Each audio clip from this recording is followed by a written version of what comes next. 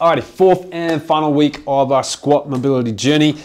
This week we're going to be focused on the adductors, so our groins, trying to help open them up to give you a much easier squat and just take some pressure off around that whole hip. So first up, we're going to start off with our classic frog stretch.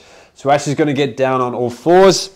Now this will again depend on your mobility. So put your knees as far wide as you need to.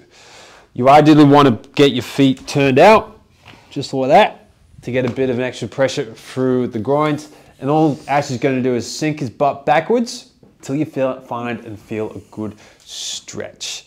Now, you can stay here for as long as you need to. A good two minutes is going to be a great way to do this. But if you want to make it a bit more active, what you can think about doing is pushing those knees down and out. You're to feel a bit of a contraction through the groin. Couple of seconds squeeze, relax. You can probably push it back a little bit further back, push down and out, squeeze, couple seconds, relax. Doing this several times will just help open up those muscles up a little bit more and give you a bit more depth in your squat. As always, once you've given this a go, jump up, do another squat, see how that feels. See if this is gonna be good for your mobility.